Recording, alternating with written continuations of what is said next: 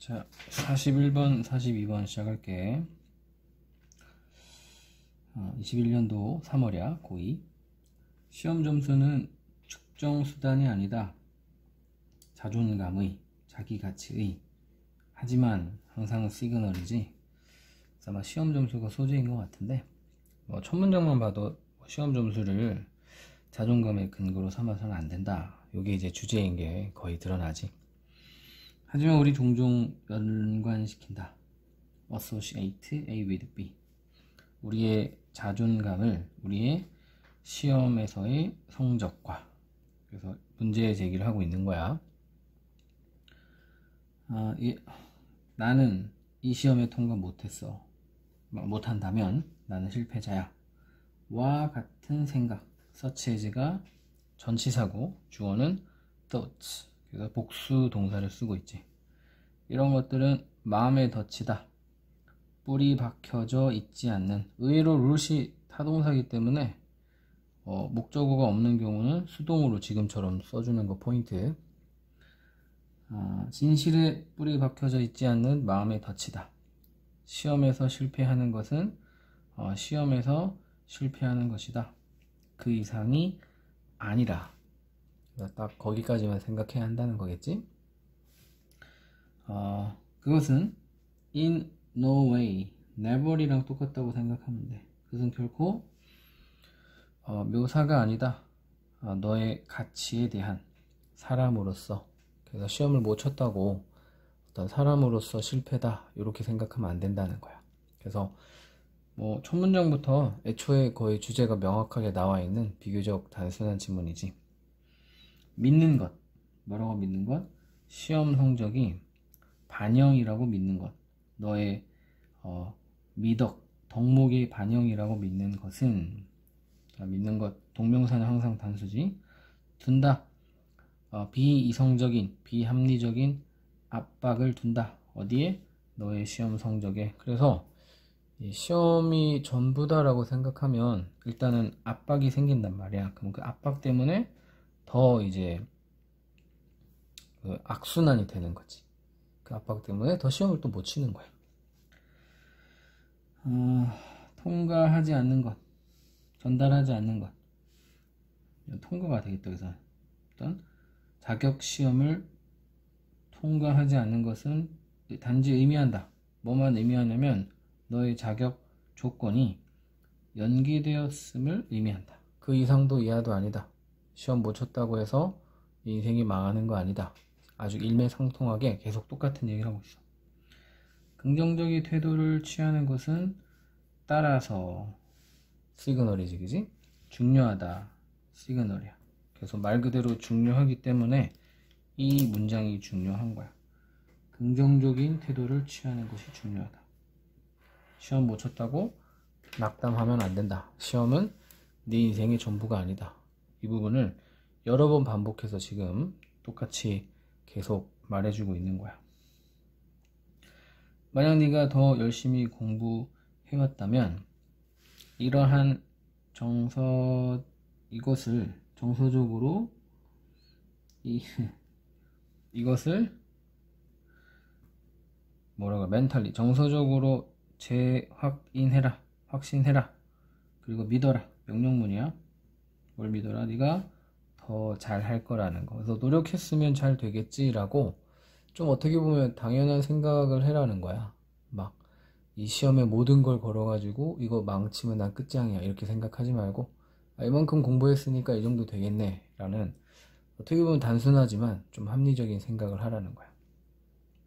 만약 반대로 어, 너가 공부하지 않았다면 네가 해야만 했던 것보다 혹은 원했던 만큼 만큼 원했던 만큼 열심히 공부하지 않았다면 받아들여라.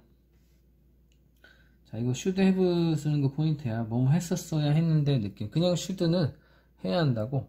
지금은 일단은 과거 시제를 나타내기 때문에 어, should have를 해야지 과거 시제가 되기도 하고 의미적으로 뭐뭐 했어야 했는데 라는 약간 후회의 느낌도 나기 때문에 should have pp가 생략된 그런 구조라고 생각하면 돼. 가져야 한다 이러면 안 돼. 했어야 했던 만큼 열심히 하지 않았더라면 그때는 또 받아들여라. 명령문 뭘 받아들이냐?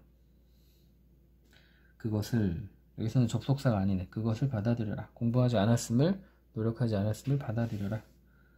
어, 뭐로 받아들이냐? accept A as B 이렇게 연결되네. 너의 통제 밖에 있음을 받아들여라 현재로는. 병렬 구조야. 그리고 자 attend도 되게 중요해. 이 보통 우리가 많이 쓰는 attend는 타동사 attend야. 그래서 어디 어디에 참석하다 어떤 학교에 다니다도 이제 attend를 쓰지. 지금처럼 자동사 attend는 전치사 to와 함께 어디 어디에 집중하다 attention의 그 attend랑 같은 어근이라고 보면 돼. 그리고 집중해라 업무에 어, 업무를 하는 것 하면 되다. The task of doing the best you can. 어, 최고의 것을 하는 업무에 집중해라. 네가 할 수 있는 최고의 것을 하는 그 일, 그 업무 자체에 집중해라. 만약 어떤 것들이 잘 이루어지지 않는다면 이번에 그렇다면 너는 알게 된다. 뭘 알게 되냐? What needs to be done. 무엇이 이루어질 필요가 있는지를 알게 된다. 준비함에 있어서 다음 시험을 그러니 다시 한 번 더 얘기하고 있는 거야. Talk to yourself in positive term. 아까 얘기했던 거지, 그지? 긍정적인 태도를 유지해라랑 아주 흡사한 표현. 너 자신에게 이야기해라. 긍정적인 어조로, 용어로. 피해라. 합리화하는 것을, 뭐를? 과거 혹은 미래의 시험을. 어보이드 ing도 중요한 문법이니까 체크해두고, 뭐 함으로써? 둠으로써. 비난을. 어, 두 번째 차선 다른 혹은 어, 변수들에게 변수들을 변수들에게 비난거리를 둠으로써 합리화하는 것을 피해라. 즉 합리화하지 말라는 거지.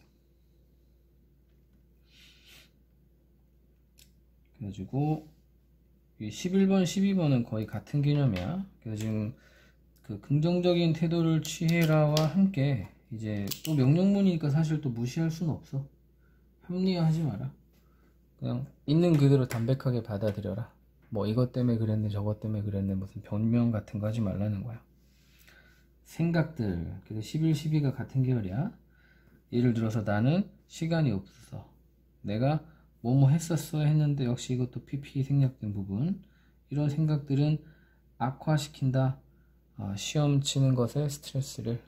그래서 막 괜, 괜한 뭐 합리화나 변명거리나 이런 거 찾지 말고 담백하게 공부 안 해서 그런 거야 라고 받아들여라는 거지. 통제권을 가져라.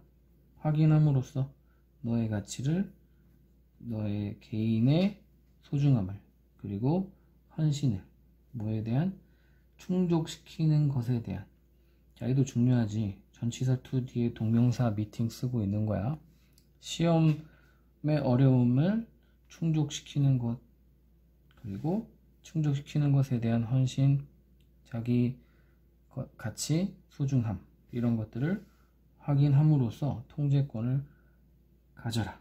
어떻게? 정면으로. 이 정면으로란 단어도 아까 전에 합리화하지 마라랑 이제 상충되는 거야. 어, 너 자신에게 반복해서 말해라. 뭐라고? 나는 할 수 있고, 나, 나는 시험에 통과할 수 있고 나는 시험에 통과할 거야 라고. 그래서 통제권을 가지다 가져라 라는 표현도 되게 중요한 거지. 정면으로 맞서라. 뭐 변명하지 마라 이런 거. 그래서 크게 보면 두 가지야. 긍정적인 태도를 취해라. 그리고 실패에 대해서 합리화하지 마라. 정면으로 맞서라. 이런 여러 가지 형광펜들이 주제와 관련된 거라고 생각하면 되겠어. 자 41, 42번은 여기까지